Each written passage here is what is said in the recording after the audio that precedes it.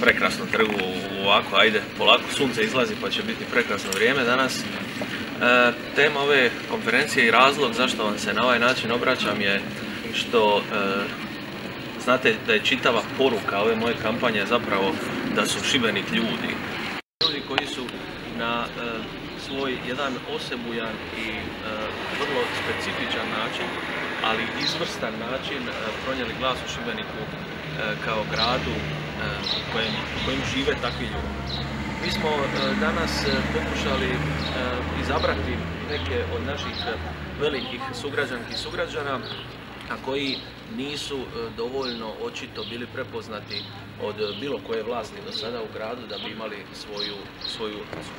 Nalazimo se na trgu koji, e, evo tu je hotel Jadran, tu je i zgrada općine ili zgrada županije, e, gdje je naš poznati arhitekt Ivan Vitić zapravo projektirao te objekte, dok on ima ulicu u Zagrebu, u Šibeniku zapravo nema nikakvu ulicu. Tu smo još naravno izabrali, vidite iza mene i Petra Guberinu, Špiru Guberinu i Vesnu Parun. Znam da su neki primijetili da nema, da nema Brešana i da nema Dedića, ali s obzirom da je gradska vlast ipak namijenila, Vukova.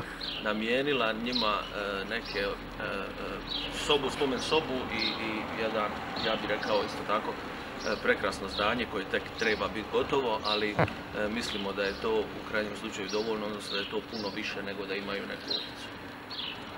O, o svim ovih, svih četvero ljudi, rekao sam jednu rečenicu o Vitiću, osobno je Petar Guverina, odnosno sve ono što je on napravio i po čemu danas se zapravo čitavo, ja bih rekao svugdje u svijetu, po njegovoj metodologiji se pomaže djeci koja imaju poteškoća u govoru.